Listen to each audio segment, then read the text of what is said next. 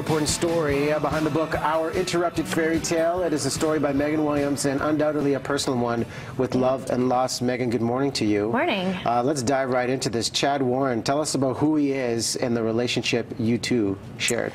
Um, Chad was my boyfriend and love of my life, and um, we were living a what I considered to be a pretty normal, happy relationship. We traveled lots, and but uh, what's a bit different about our setup is that there were three people or th three components to our relationship, and that was Chad, myself, and myeloma, which was um, the incurable blood cancer that he had. So. You know, I, I, think this book, going through it last night, uh, resonates on many levels. When you talk about the theme of love, people can relate to.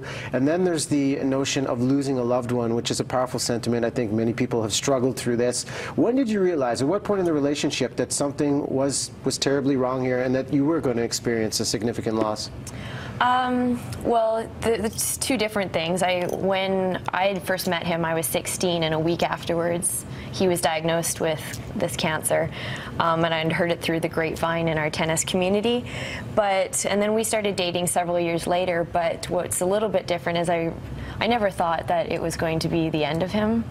And so it wasn't actually until um, three days before he died when I was in the room when his doctor shared that this was all that we could do for him, that I not only my heart plummeted to the floor and I, we were on the 15th floor, but um, that was the first time that I actually didn't think that he was going to, well, he wasn't going to make it. So.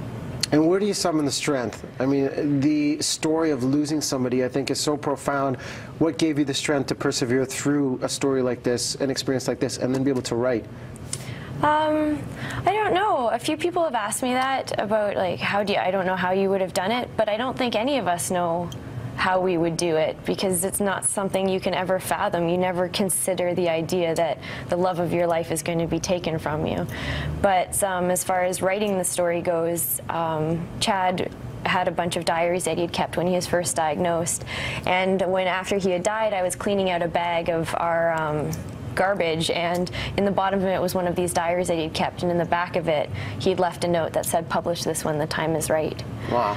So the writing of it became as a little bit more of an instruction to, to help help him live on. And as a result, I think he'll probably end up outliving us all now. So. You know, the unique thing about this story is it's written in a first-person perspective. What's going on in Chad's mind, what's going on in your mind yeah. as you follow the journey of falling in love and then battling myeloma. And here, I think it's such an important story to create a legacy for the love of your life, the once love of your life, and now raising money for a great cause. And tell us what you're trying to achieve. Yeah, when um, Chad was alive, he and his family set out to raise a goal for $1 million for other people who have blood cancers and are um, looking to raise money for trial drugs and um, trial procedures. And Chad's life and our time together was extended because of a clinical trial that he was on.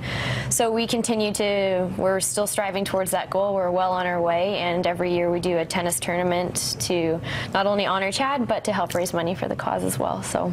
You've got the website for the book as well, our interruptedfairytale.com. There's a book signing happening this Sunday at Park Royal South, 1 p.m. to 4 p.m. You can check out Megan. I guess final words, what's the greatest lesson you learned going through something like this?